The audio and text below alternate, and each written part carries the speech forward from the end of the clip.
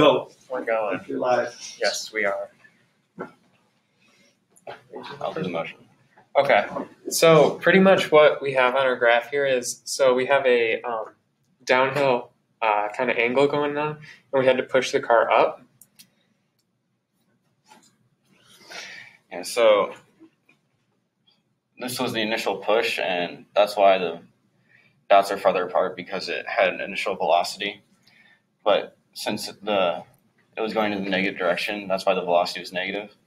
And since it was slowing down, that means the acceleration was in an opposite direction. And so that means that it would be an opposite or um, value. Or I mean is that since this is negative, that would be positive since it's slowing down.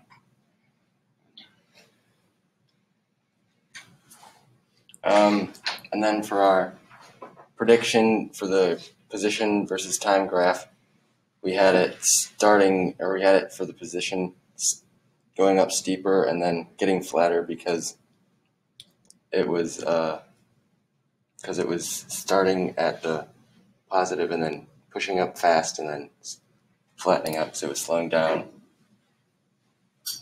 And same thing for like the acceleration and the velocity graph. Uh, for the prediction, we thought it would for the acceleration. Um, it would go up, or it would be steeper because from the push, it would push it or make it speed up and then slow down. Yeah. So, um, just a point of clarification, whatever you guys were supposed to represent, you know, the, the motion of the car, the graph, you should not include like the part where it's being pushed or after it was caught, because that's just kind of, that, that's not what the car was doing on the hill. So maybe there's pieces of yours that we could kind of erase off and pretend that they didn't exist. So if your car was to be given a push and then everything would be represented at the moment it leaves your hand and it's doing its own thing. Um, we could probably trim off uh, certain portions of your predictions, which you did on the actual. So, which part of like the velocity graph should probably be trimmed off? Part where it's flat, or the part where it's kind of changing? Just thinking about predictions. If I have to do this on Probably a like- test, like how should I like think about what what I need to have on my graph because your actuals look like they've trimmed off the and, and assumed everything was kind of like steady and doing whatever it was going to do nice and smoothly. So, what about your predictions? What parts might you not put on a test prediction graph? More of the like slant ups because I believe that's like when we actually caught that initial push, mm-hmm. but that initial push isn't actually the cart, as you said. It's um, us pushing the Yeah. cart, so it is the initial speed, but like it's not the speed as at which it's traveling. So we could probably cut off the beginnings where it like slants up real quick and then evens out. Because that evened out section is the section that we actually need. Okay, audience.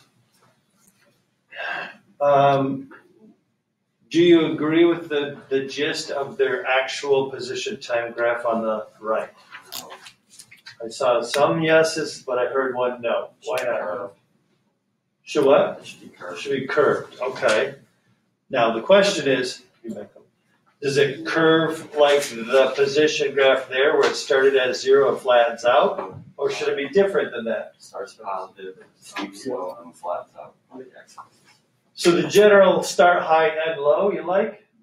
Okay, so then how should the curve be? Like maybe if you erase that, this is probably due to the scaling, the squished and how squished down the y-axis was, that it made it look flat. So Ah. should, should it go,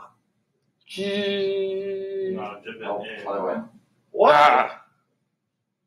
Why? why?